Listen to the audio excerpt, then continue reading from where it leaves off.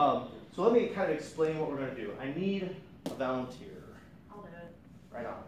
Yeah, don't know what I'm doing, but. Okay, so a lot of you guys are, I'm going to have quite a few of you guys come up and do this with me. Maybe not all of you will get you to do it today, but there's something that you can practice with pull noodles or even just use your finger and say, this is a knife, you know, that works. right, but I want everyone to get a chance to do this. So first thing I want you to understand is distance management, okay? So in order for me to hit you, I must be close enough to hit you. These are foam sticks. Oh, okay. Okay, they still hurt? Okay, got that. Alright, um, uh, so I have to move to you in order to hit you. So if I swing at you, back up. Uh, you don't get hit, mm-hmm. right? But this this is a problem though, because you can't hit me mm-hmm. because I'm out of range of you, so you're out of range of me. But it's not actually true. You can't hit me. I want you to take a look at this. And when I swing at you, I want you to use a backhand to hit my wrist. Okay. Okay, hit. Now, this, pretty hard. Hit.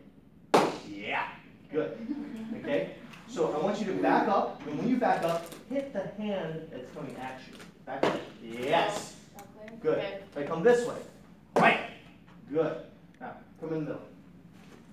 To give you space to move. Uh, So when I come to hit you, retreat, slap the shit out. Hit, bam, yeah, good. Good again. Hit, boom, good. I try to stab you, boom. That's right. Good. Hit, boom.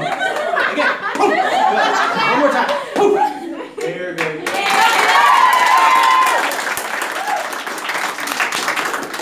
So what happens here? Well, I'm trying to hit her, and anyone who has a weapon who lacks training is going to try to hit your center mass, your head, your body. But she is instead attacking the tool that is holding the weapon. Right? Now these are foam sticks. Okay?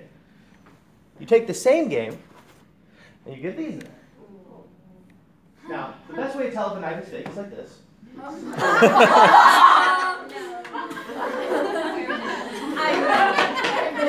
Okay. So we'll start off we'll start off slow. Okay. Okay? So sorry if I did you not harm. That's okay. So what I want you to do, point that knife at my hand like it's a flashlight. Wherever this goes, shine the flashlight on my hand. Good. Okay? When I come to cut you, you back up. Back up. Good. Now cut the hand as you back up. Come over here. You got Okay? You got it back there. Okay. Boom. Hit. I want to hear. I want to hit. Boom. Yeah. Good. Boom. Hit it. Hit it. Hit it. Again. Boom. There it is. Good. Boom. Good. sorry. Again. Boom. Okay. Boom. Now she just won like eight knife fights. Yay! So what happens? What happens when the hand is cut is you're, is you're actually attacking the tendons that control the grip. So relax your hand. If I pull on these tendons, watch your fingers. So when I cut those, it actually prevents them from being able to hold onto the knife. Okay? Now this, if I have a knife, you don't have a knife, get something in your hand. A book, a shoe, uh, umbrella. Put something in your hand and hit. Okay? Because the fact is, I could have a knife, and you can have a longer weapon. Say this is an umbrella. Okay? Same thing. Put it on your shoulder and just whack the crap out of this when I try to hit you. Boom! Yeah! Good. Boom! Good. Again. Shoot! Good. Again. Boom! Nice. Good. This is the concept. We call this defanging the snake. If they cannot reach you, they cannot hurt you, and your target changes. Who else wants to try? Thank you very much. Yeah, no problem.